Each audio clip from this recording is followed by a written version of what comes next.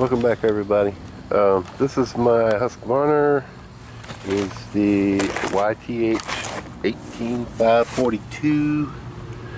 Um, has a 42 inch cut deck. And I think in one of my videos about it before I said something about all this debris being down around the spindles and stuff. And you can see how loose that belt is. Not sure why that belt is loose. We got something going on around down there.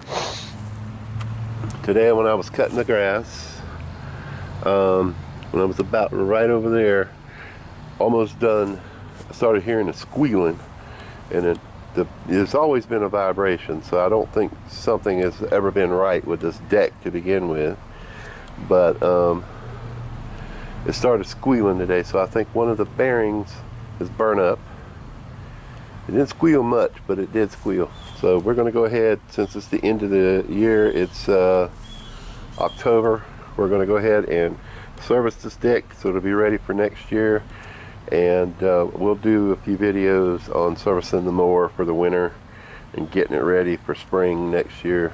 We'll, we'll probably still use it around here hauling stuff and things like that because I have a trailer um, that I can hook to the back right there and uh, haul stuff around. So let's take a look at this and see, because I've never worked on one, but uh, I want to see how we take this off and work on it. I know first thing we're probably going to have to do is lower the deck all the way down to the ground. Put it on number one there. And you can see it sitting on the ground. There's not much debris on here because I've been cleaning it off, but it doesn't seem to matter. I think the blades may also be warped. Um, looking at this belt here. How loose that thing is? Is it supposed to be that loose? Hell, I don't know. But anyway,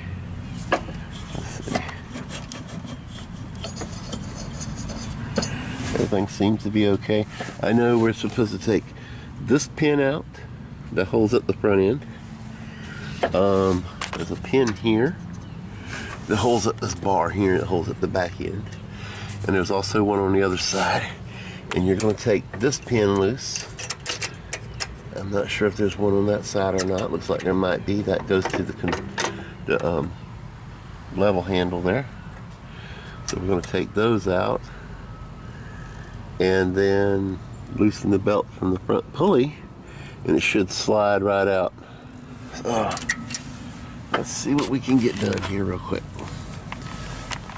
Uh, right, let's see. Set you right there for right this minute. From what I understand, you can take a screwdriver.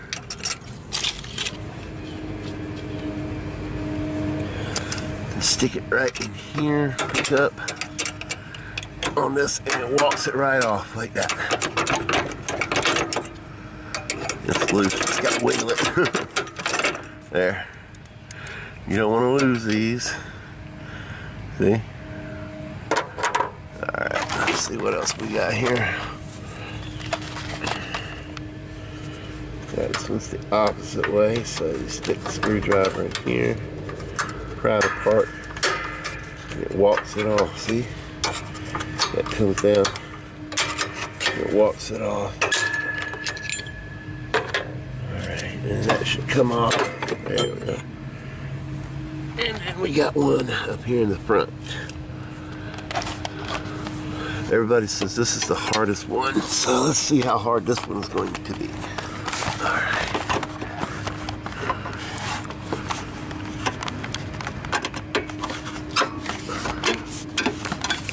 Huh, let me put you over here.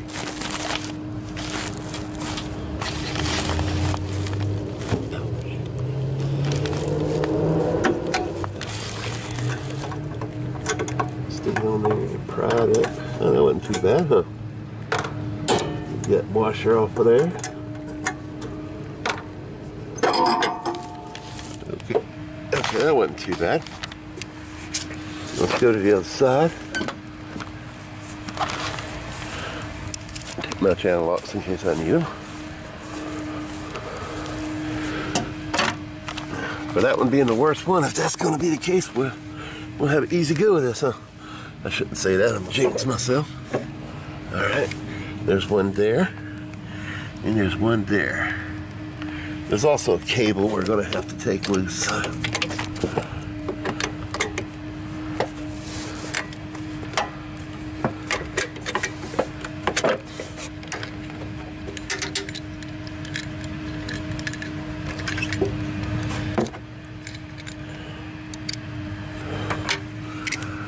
Ah, let's see.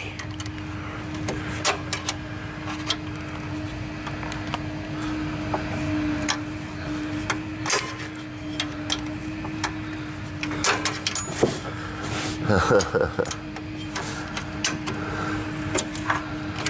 we go.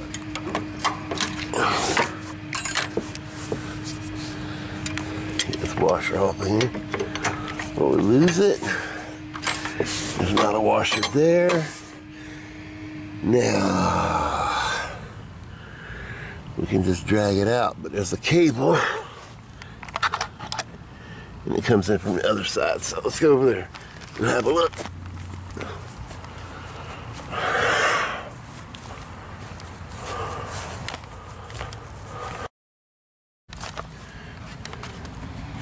Okay, you can just grab it down, slide it out like this.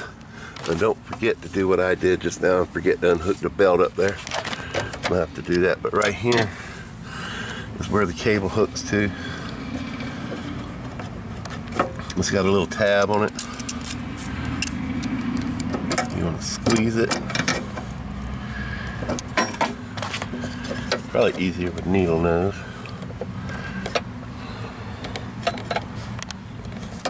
Anyway, I'll show you from the side here.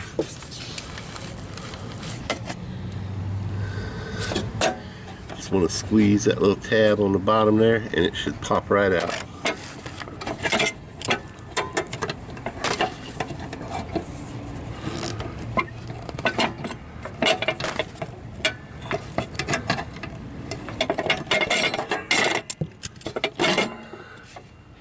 Okay, I got that out.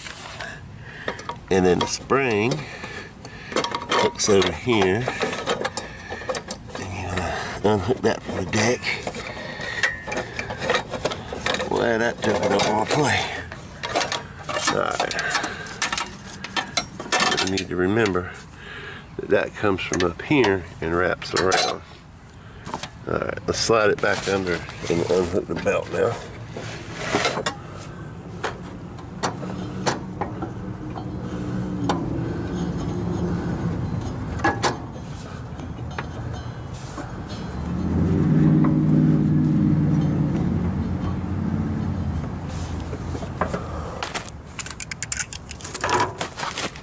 Alright, unhooked. It's really easy. You just unhook it from around the pulley. And then there's hooks right there. I don't know if you see that. That's a hook. One on each side. Just slip the belt out of that hook. And the whole thing should come right out. Just like that. Easy peasy. Alright.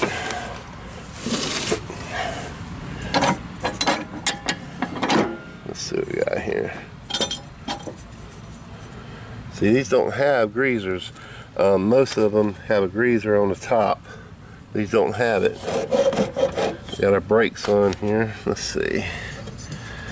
Push the brake off. Can't push the brake off. Um, gonna have to get that brake off. The brake might be the problem. You see right here? It's digging into the brake shoe right there. That could be the problem. Let's see. Maybe. Anyway, let me go get a tripod and I'll set you up. We'll, we'll take a look at it. Alright, I got you on the tripod now. Let's see what we got going on here. Alright, uh, this is the brake. We'll take the brake off. This brake didn't come loose. There it goes. Alright, we'll loosen the belt here.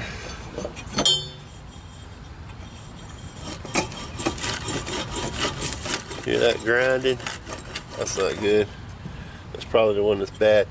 The um, pillars are supposed to have a greasing nipple right here, and it, they don't have one on these.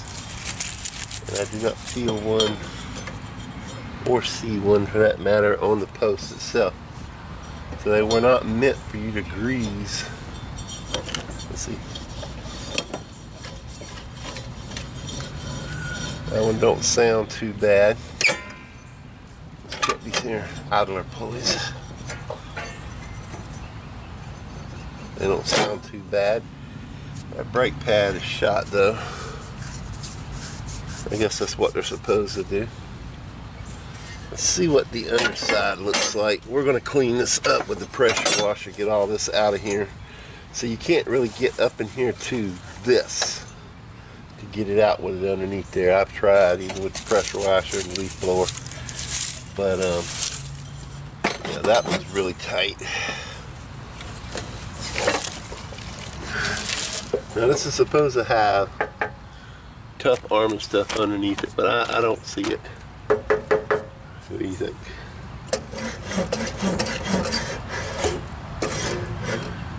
The blades are pretty wore. Now the blades have always vibrated. I'm not sure why. See the edges of them eat off right there. That's from sand, I guess. I think I'm gonna pressure wash, wash this. And I might put some bed liner on it just to uh, toughen it up to keep the uh, elements from rusting it out because I don't want to rust out the deck. As long as you got a good solid deck, you can always rebuild it. You know, and this part right here costs you a couple hundred bucks easy. But um, yeah, we're going to end up rebuilding this whole deck.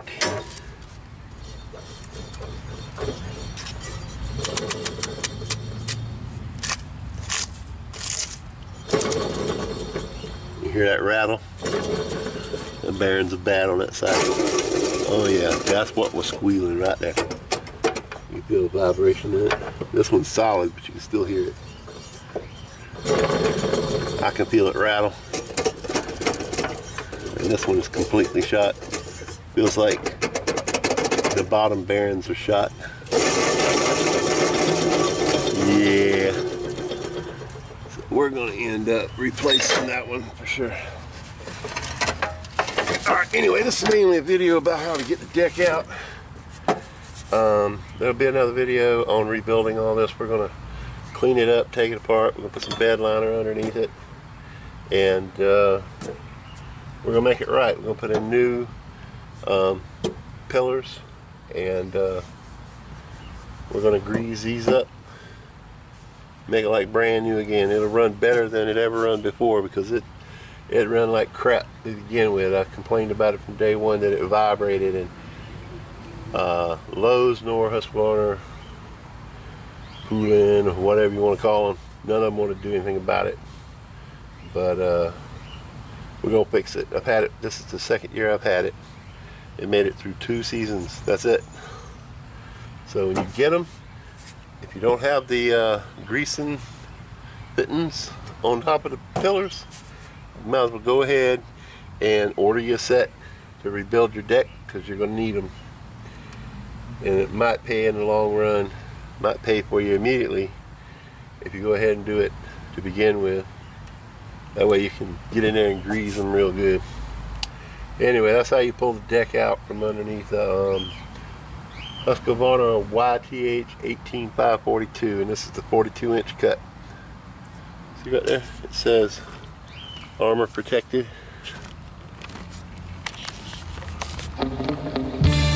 You see any armor underneath there? I didn't. Anyway thanks for watching and uh, stay tuned for the next video